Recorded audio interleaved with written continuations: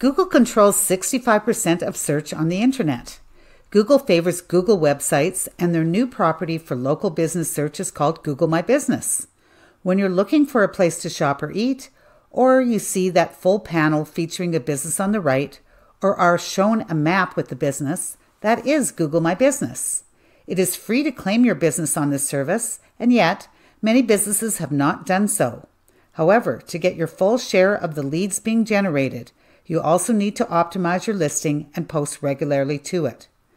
Google My Business listings get hundreds, thousands, or tens of thousands of views, depending on the keywords chosen to describe the business and the volume of search for that business.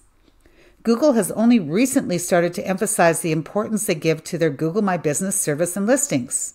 There is an opportunity for businesses to get in with a fully optimized Google website for their business now.